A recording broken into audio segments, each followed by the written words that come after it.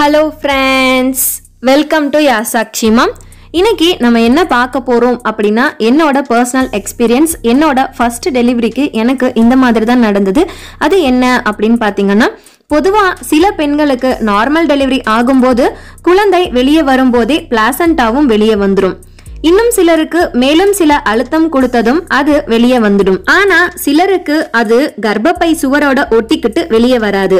அப்படி இருக்கிறப்போ முப்பது நிமிஷத்துல பிளாசண்டாவை வெளியே எடுத்தே ஆகணும். அதாவது பிளாசண்டானா நஞ்சுக்குடின்னு உங்க எல்லாருக்கும் தெரியும். அப்படி எடுக்க முடியல அப்படின்னா நிறைய ப்ளீடிங் அதாவது ரத்தம் வெளியே போய் உயிருக்கே ஆபத்தாகிரும். அந்த மாதிரியான நேரங்கள்ல டாக்டர்ஸ் அதை மேனுவலா ரிமூவ் பண்ணணும் அப்படின்னு டிசைட் பண்ணுவாங்க. அந்த ப்ராசஸ் எப்படி நடக்கும் அப்படின்னு இந்த வீடியோவில் நம்ம டீட்டெயில்டாக பார்க்கலாம். சேனலை சப்ஸ்கிரைப் பண்ணலன்னா சப்ஸ்கிரைப் பண்ணி பக்கத்தில் இருக்க பெல்லைக்கானையும் கிளிக் பண்ணி ஆள் கொடுத்துக்கோங்க. அப்போ தான் நான் போடுற useful pregnancy tips and videos உங்களுக்கு நோட்டிஃபிகேஷனாக வரும். நீங்கள் தவறாமல் ஒவ்வொரு வீடியோவும் பார்க்க முடியும். ஃபர்ஸ்ட் இந்த ப்ராசஸில் அனஸ்தீசியா கொடுக்கறதுக்கு முன்னாடி யூரினரி பிளாடரை எம்டி பண்ணுவாங்க. அதுக்காக கேத்தட்டரை இன்சர்ட் பண்ணுவாங்க. அப்புறமா உங்களுக்கு ஜெனரல் அனஸ்தீசியா கொடுப்பாங்க. அனஸ்தீசியஸ்ட் ஒருவேளை இல்லாம போன சமயங்கள்ல எமர்ஜென்சி பர்பஸா இருக்கிறப்போ டென் எம்ஜி டயாட்டோபம் அல்லது ஹண்ட்ரட் எம்ஜி பெத்தடைனை யூஸ் பண்ணி ஆழ்ந்த மயக்க நிலைக்கு போக வைப்பாங்க. அடுத்தது ஆன்டிசெப்டிக் சொல்யூஷனோட கையை நினைச்சிட்டு ஒரு கையை யுட்ரஸ்குள்ள இன்ட்ரடியூஸ் பண்ணுவாங்க. அதாவது யுட் கர்ப்பைக்குள்ள ஒரு கையை விடுவாங்க. கோன் ஷேப்ல இருக்கிற கார்டை ஃபாலோ பண்ணி கையை யுட்ரஸ்குள்ள கொண்டு போவாங்க. கையை உள்ள விட்டதுக்கு அப்புறமா நம்ம லெபியா அப்படின்னு சொல்லுவாங்க அதாவது பெண்ணுறுப்பின் இதழ்களை ஃபிங்கர்ஸ் மூலமா செப்பரேட் பண்ணுவாங்க. அதர் ஹேண்ட்ல கர்ப்பப்பையில் இருக்கிற கையோட ஃபிங்கர்ஸை பிளாசண்டாவோட மார்ஜின்ல லொக்கேட் பண்ணுவாங்க. இன்னொரு கையால அடி வயிற்றுல கர்ப்பப்பையின் மேல அழுத்தம் கொடுப்பாங்க.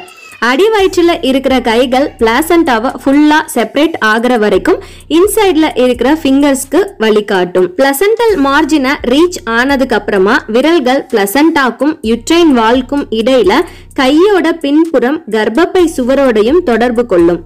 பிளாசண்டா கிராஜுவலா செப்பரேட் செய்யப்படும்.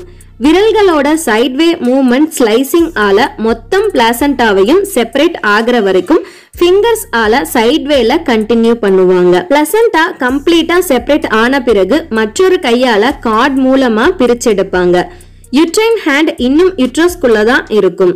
கர்ப்பப்பை குழியில ஆராய்ச்சி செஞ்சு அங்க மிச்ச பிளாசண்டா எதுவும் இல்லைன்றத உறுதிப்படுவாங்க அடுத்தது யுட்ரைன் அதாவது கர்ப்பப்பைக்குள்ள இருக்கிற ஹேண்டை கிராஜுவலா ரிமூவ் பண்ணுவாங்க.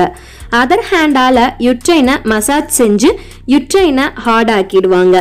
பிளசண்டாவை மேனுவலாக ரிமூவ் பண்ணின பிறகு அதை இன்ஸ்பெக்ட் பண்ணுவாங்க. அதாவது முழுசாக வெளியே வந்திருக்குதா இல்லையா அப்படின்னு சொல்லிட்டு செக் பண்ணுவாங்க. அதே போல் கார்விகோ வெஜைனல் கேனலையும் எதுவும் இன்ஜரி ஏதாவது ஆ- ஏற்பட்டிருக்கா அப்படின்னு சொல்லிட்டு பார்ப்பாங்க.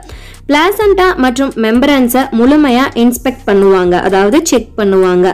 அங்கே எந்த தொந்தரவும் இல்லைங்கிறத உறுதி செஞ்ச பிறகு யுட்ரஸ் கடினமாகவும் மற்றும் அதோட சுருக்கங்களையும் உறுதி செஞ்சு கொ- செஞ்சுப்பாங்க. இதுதான் பிளசண்டாவை மேனுவலா ரிமூவ் பண்ற மெத்தட் இந்த வீடியோ உங்களுக்கு யூஸ்ஃபுல்லா இருக்கும்னு நம்புறேன். இந்த வீடியோ உங்களுக்கு பிடிச்சிருந்துச்சுன்னா ஒரு லைக் பண்ணுங்க. தேவைப்படுறவங்களுக்கு ஷேர் பண்ணுங்க. மறக்காம யாஸ் அக்ஷிமம் சேனலை சப்ஸ்கிரைப் பண்ணி வச்சுக்கோங்க. தேங்க்யூ தேங்க்ஸ் ஃபார் வாட்சிங் பாய்